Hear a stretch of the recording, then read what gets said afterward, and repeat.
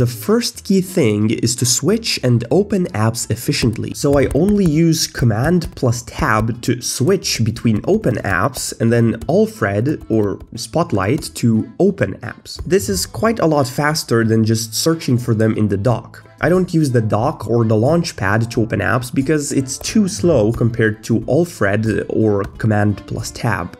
I got used to searching Google with Alfred, which is a lot faster than opening your browser and then entering something into the search bar. Alfred can also see your bookmarks, so opening YouTube is also a lot faster. You can also search specific websites, for example, if I type YT in Alfred, I can search directly within YouTube and you can set these up yourself. I keep my dock hidden at all times because it steals that free screen real estate. Look at how much vertical space my apps get when the dock is hidden. If you want to use the dock for switching apps, you can paste this command in the terminal to remove the slow animation when the dock hides itself.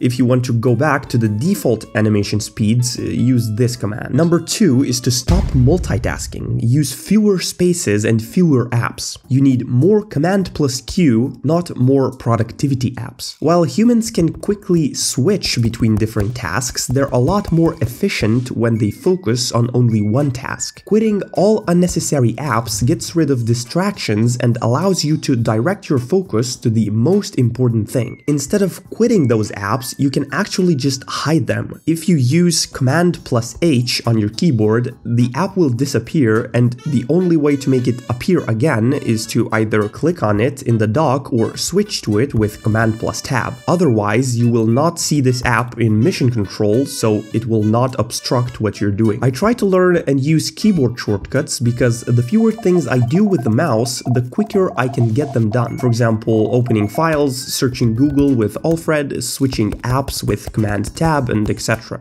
Learning keyboard shortcuts is annoying, but it pays its dividends later. Number 3. Use an external mouse. The trackpad is just too slow when you want to actually get something done. The trackpad is good for leisure time, consuming media or using your Mac in bed. For everything else, the mouse is faster. Unfortunately, macOS poorly handles external mice because Apple wants you to purchase their amazing Magic Mouse. So here are three apps that will make your mouse actually usable. Number one is Sensible Side Buttons. It enables side buttons to go back and forward in your browser if your mouse has side buttons. Number two is a linear mouse. So you've probably run into this issue where when you connect an external mouse to your Mac, the scrolling direction is opposite as it should be. So this app will let you reverse scrolling on your mouse, but keep the trackpad scrolling direction the same. And it will also remove terrible pointer acceleration that macOS has, and it's impossible to turn off without the terminal. Number 3 is Mac Mouse Fix. This one will add a middle click to your scroll wheel so you can quickly open links in new tabs or close tabs quicker. I hope that this was helpful to someone out there,